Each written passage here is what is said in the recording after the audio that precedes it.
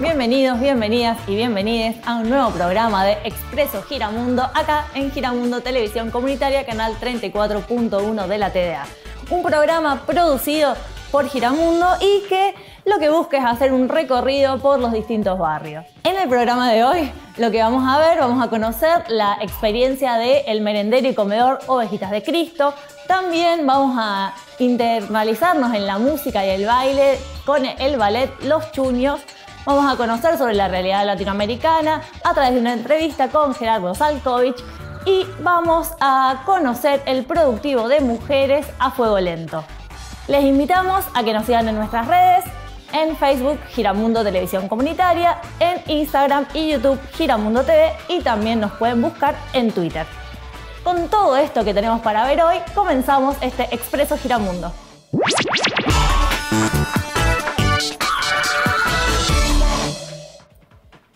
Comenzamos este primer bloque de Expreso Giramundo conociendo una experiencia artística muy interesante de la mano del ballet Los Chuños.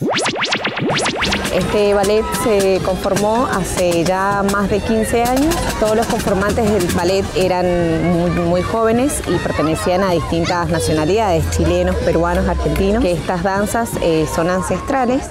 Así que, bueno, acá nuestra familia empezó a, reivindicar todo eso para nuestra identidad, no perderla, así también a los nietos, ir pasándosela y, y todos aquellos que, vienen al futuro. Que el ballet no solamente hace la danza del tinku, eh, tenemos mucha variedad de danzas, morenada, tobas, eh, Bolivia tiene una riqueza cultural impresionante, eh, distintos climas, culturas. Nos presentamos en, en distintos lugares, en eventos, cumpleaños, eh, ya hemos pertenecido también como artistas de vendimia vamos, hemos conocido gracias a, acá al ballet y mostrar nuestra cultura, hemos conocido distintos departamentos, eh, provincias de Argentina, así que los invitamos a conocer.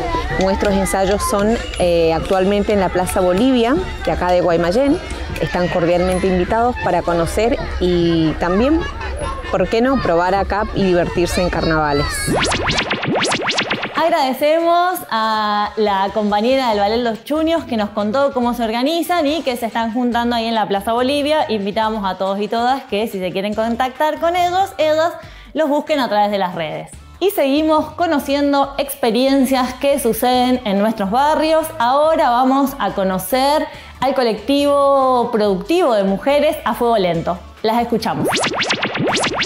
Hola a todos, a todas, a todos. Soy Magda Garnica, del productivo gastronómico a fuego lento, eh, del almacén andante y de la chipica y del fuel. Eh, nosotras armamos un productivo hace más de tres años em, con la idea de organizarnos en otro espacio dentro del, almacén andante eh, como compañeras.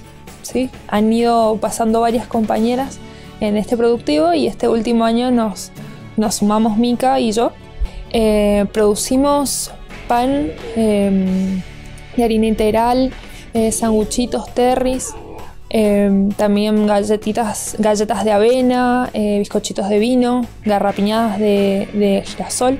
Bueno, un montón, varios productos que, que tienen como objetivo usar materias primas de los productores y productoras con las que trabajamos en el almacén andante, que sean saludables y que tengan un precio en el que puedan acceder a otras personas por supuesto que todas estas características que buscamos han, generado como eh, mejores caminos o también problemas porque a veces no es posible llevarlo a cabo.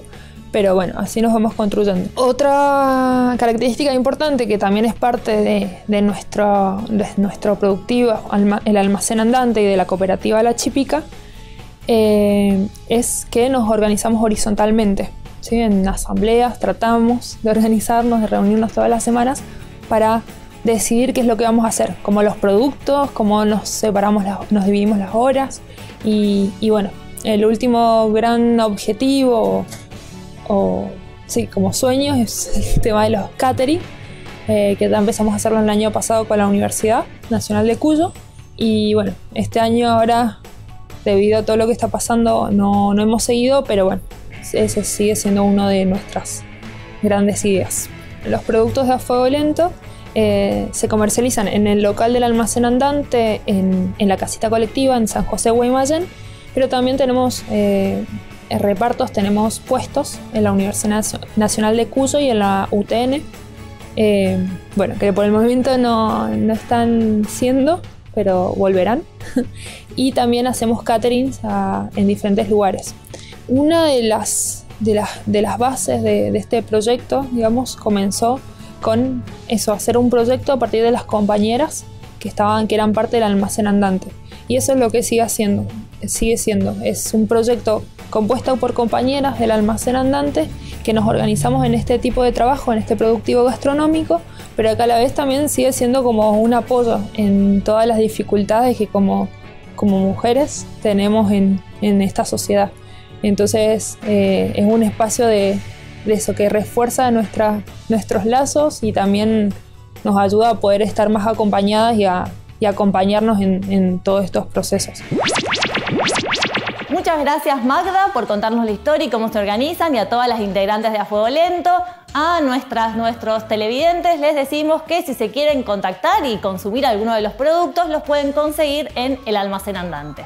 Y ahora nos vamos a un corte para seguir después con más Expreso Giramundo. Les invitamos nuevamente a que nos busquen en las redes Facebook Giramundo TV Comunitaria, Instagram y YouTube Giramundo TV.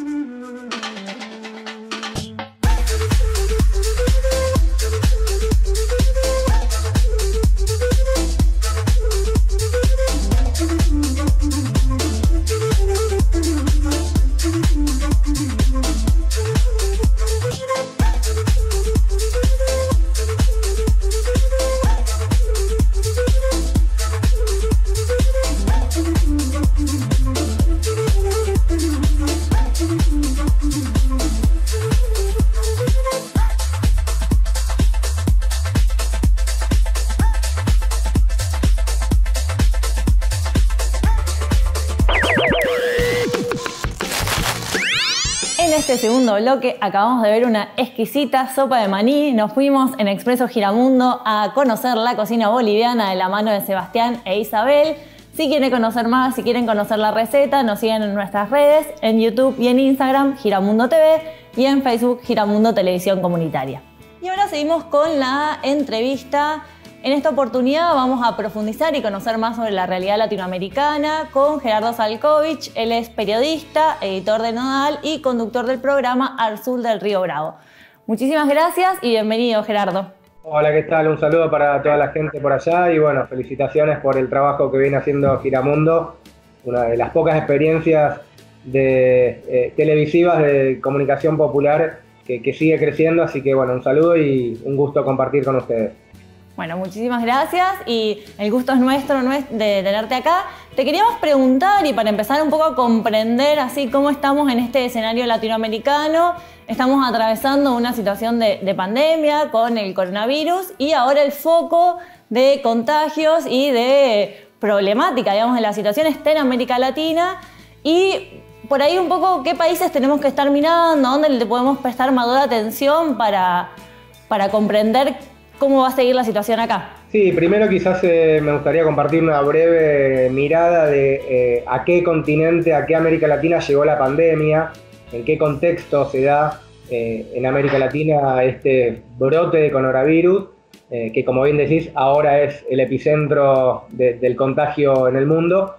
Una América Latina que está dominada, si se quiere, por gobiernos neoliberales, donde seis de los siete países de Centroamérica, 10 de los 12 de Sudamérica y la mayoría de los países caribeños tienen presidentes de derecha, conservadores, donde hay 186 millones de personas viviendo en la pobreza y 67,5 millones viviendo en la indigencia, el continente más desigual del mundo. Una América Latina donde los sistemas de salud están desfinanciados, abandonados, donde el 35% de la gente no tiene acceso a agua potable, donde cerca del 45% vive en condiciones de precariedad habitacional y donde, bueno, por ejemplo, más de la mitad de los trabajadores y trabajadoras lo hacen en la informalidad. Esa región desigual atraviesa una pandemia que vino también a profundizar ese sistema de desigualdades y también eh, en un momento en el cual la región atraviesa un proceso de desintegración regional, ¿no? Se había avanzado en este siglo en un proceso de unidad latinoamericana, de integración regional, y estos gobiernos conservadores vinieron a sabotear o a hacer retroceder este impulso de integración. Los organismos regionales fueron eh, abandonados, fueron destruidos, como la UNASUR, la CELAC, que está paralizada, y quizás una respuesta regional hubiera sido distinta para los pueblos de América Latina. Sin embargo, cada país está, cada gobierno está respondiendo eh, a su manera, como le pinta, digamos. Eh, en ese sentido, en cuanto a lo que me preguntabas de, bueno, qué países están teniendo mayor impacto, evidentemente, eh, en general los países que no han implementado una cuarentena más rígida, más mm, estricta, son los que están sufriendo mayores consecuencias sanitarias.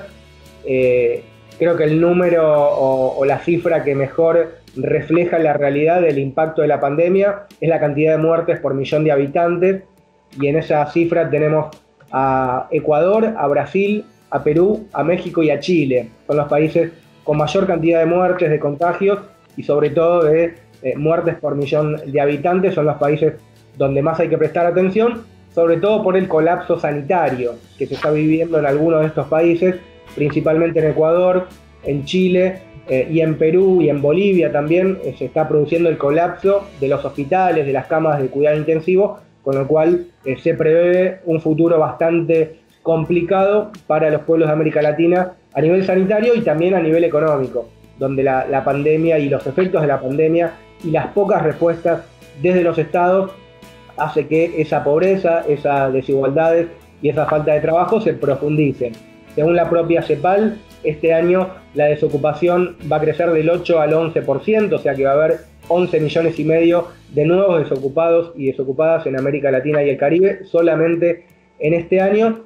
Así que creo que, esos son los países por ahí a prestarle más atención, sobre todo los que han tenido gobiernos neoliberales que han desfinanciado el sistema sanitario y que están dando menos respuestas paliativas, menos respuestas de asistencia social eh, en esto que, bueno, que, la pandemia ya sabemos lo que está generando. Y bueno, obviamente, eh, más allá de los números, el caso más preocupante y el centro de preocupación en América Latina es Brasil.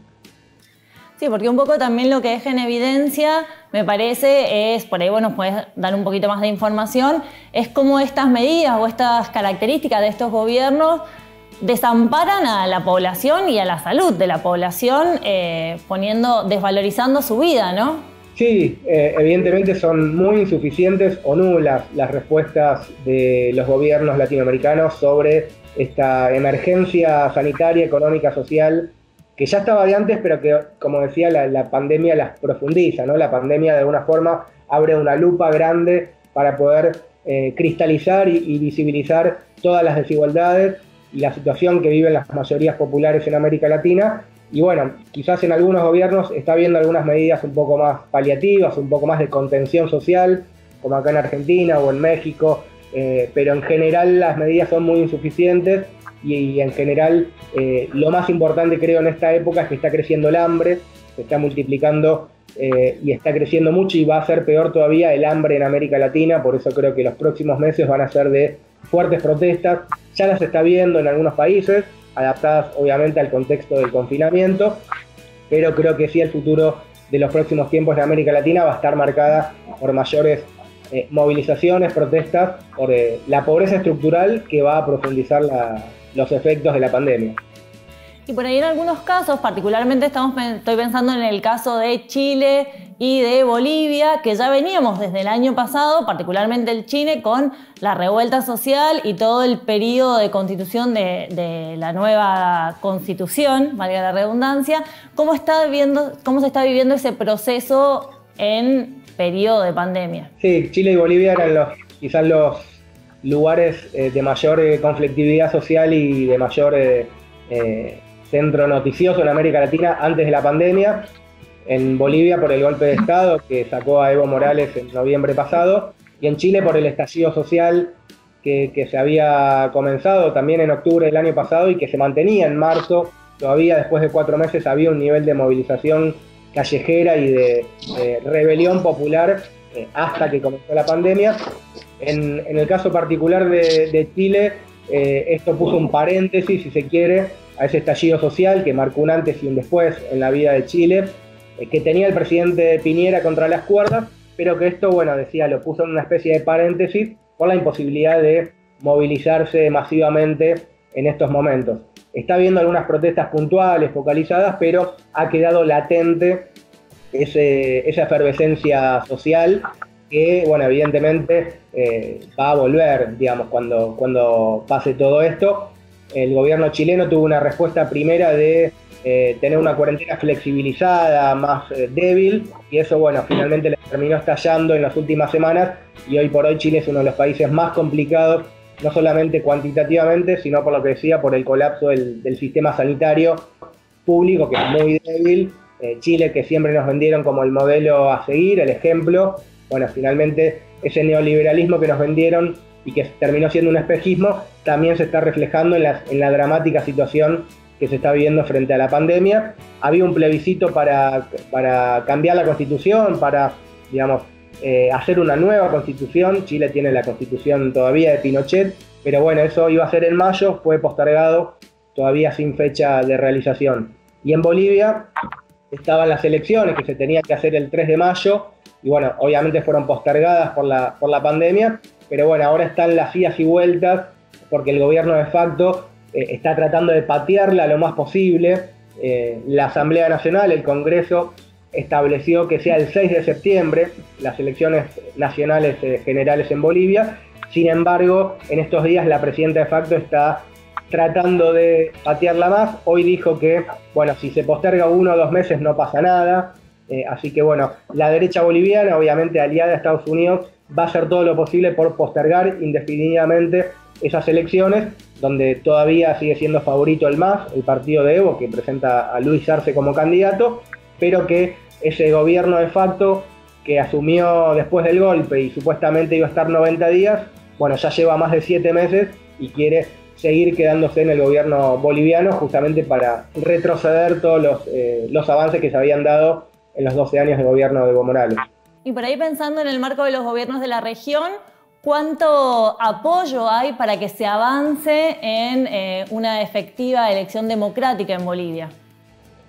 La verdad que nada, como decía hoy por hoy, eh, la mayoría de los gobiernos en la región tienen signos conservadores, neoliberales de derecha y están prácticamente la mayoría alineados a las políticas de Estados Unidos. Eh, decía ese proceso de integración regional donde había un bloque que planteaba soberanía frente a Estados Unidos, que planteaba la unidad latinoamericana, ya, ya no existe y quedan muy poquitos gobiernos aliados al progresismo, a las izquierdas, así que creo que, está muy aislado el MAS en ese sentido. Bolivia vive un proceso de irregularidades absoluto, con persecución política, con eh, denuncias, con presos políticos, con este, asesinatos, con proscripciones, con Evo proscripto también. Eh, entonces, a pesar de esas irregularidades y esa ilegitimidad institucional que vive Bolivia desde noviembre, no hubo, no hay y seguramente no haya una contundente respuesta regional para revertirlo. Eh, así que no, creo que se pueda esperar mucho desde la llamada comunidad internacional o de los gobiernos de la región para poder eh, revertir y poder eh, reencauzar la institucionalidad en Bolivia. Bueno, Gerardo, muchísimas gracias por compartirnos tus conocimientos y por darnos algunas pistas para ayudarnos a comprender y a profundizar sobre la realidad de América Latina en este contexto. Bueno, gracias a ustedes por, eh, la comunicación. Eh, reiterarles eso, que, está bueno mirar siempre a, nuestra matria grande, a nuestra patria grande, y, entender que somos parte de un proceso más amplio. Y bueno, también a, hermanarnos con los pueblos que, la están pasando mal, que la están sufriendo y que seguramente en los próximos tiempos van a ser tiempos de lucha en toda la región. Así que bueno, gracias a ustedes y a la orden para que cuando quieran seguir conversando de estos temas. Después de esta interesantísima entrevista sobre la realidad latinoamericana, terminamos este bloque de Expreso Giramundo. Les invitamos nuevamente a que nos sigan en las redes y seguimos enseguida con mucho más.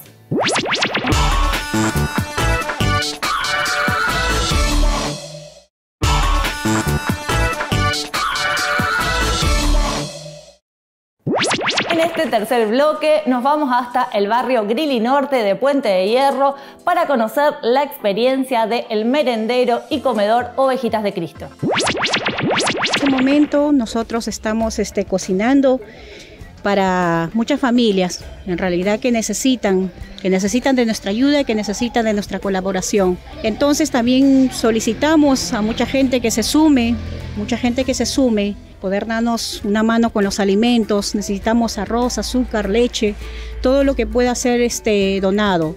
Eh, necesitamos también, la verdad que urgentemente necesitamos ollas, porque como ustedes ven, las ollas que cocinamos son muy pequeñas y no nos alcanza para tantas familias que llega. Todo aquel que se quiera sumar en ayudarnos, necesitamos también, como se dice, hornillas grandes para poder cocinar mejor porque la verdad que hay tanta cantidad de niños que también depende de un plato de comida y ahora en este en esta pandemia, en este virus que se está que se viene, muchas familias necesitan, cuentan cuentan con nuestro servicio, cuentan con nuestra ayuda.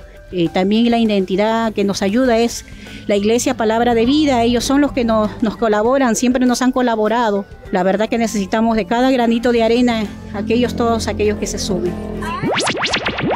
Agradecemos a Patricia Evangelista por compartirnos su experiencia y su testimonio y les invitamos a todos los vecinos que quieran colaborar que eh, se contacten con el comedor y merendero porque están necesitando de la ayuda para poder mantener este trabajo cotidiano que alimenta a más de 60 familias.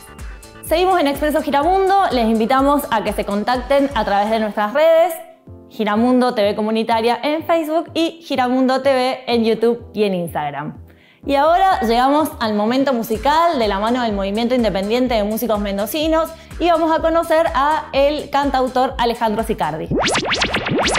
Hola amigos de Expreso Giramundo, bueno mi nombre es Alejandro Sicardi, soy cantautor de, de Mendoza. Quería presentarles para que vean esta versión de la canción Simplemente a ti, que formó parte de mi primer disco allá por el 2008, el disco Ensayos. Quería presentarles esta nueva versión que es eh, junto a la Orquesta Popular de la Escuela Florentina Oliván, la Orquesta por la Paz, Marita Yerbolina, eh, y también compartida con la mezzo-soprano Soledad Reiteri. Eh, elijo esta canción simplemente porque para mí es una canción muy importante, porque un poco define mi, mi camino en la música y también porque, bueno, la compartí con esta hermosa orquesta que le hizo un hermoso arreglo, eh, donde hay niños, adultos y me hizo muy feliz poder escuchar su versión de esta canción. Muchas gracias. Llegamos al final, nos estamos yendo y además de conocer este cantautor, vamos a escuchar algo de su música. En este caso, para terminar este expreso giramundo del día, vamos a escuchar la canción Simplemente Ti que realizó en conjunto con la orquesta de la Escuela Artística 5014. Hasta la próxima, hemos terminado otro Expreso Giramundo en la pantalla de Giramundo Televisión Comunitaria 34.1 de la TDA. Nos vemos.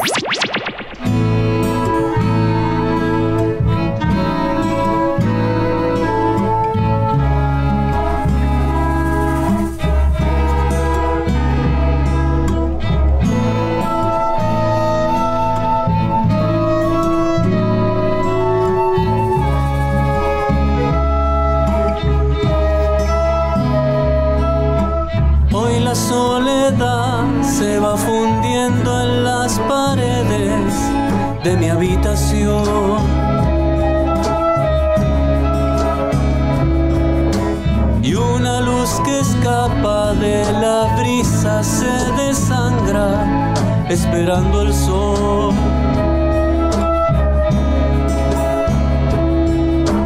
Y un concierto de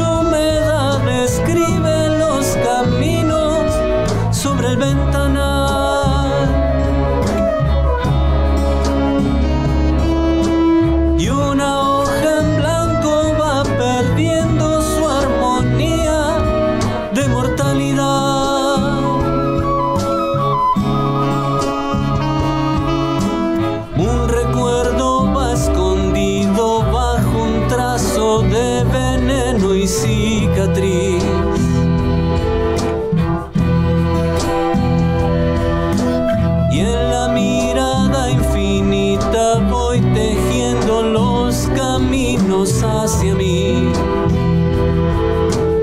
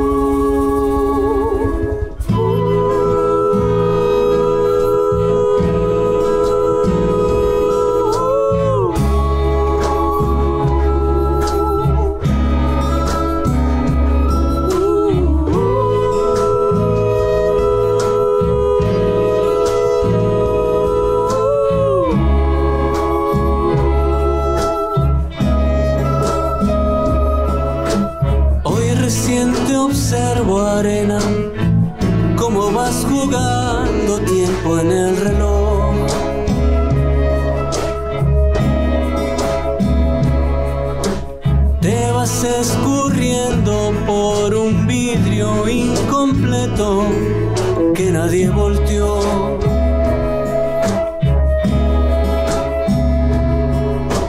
Y hoy te escribo simplemente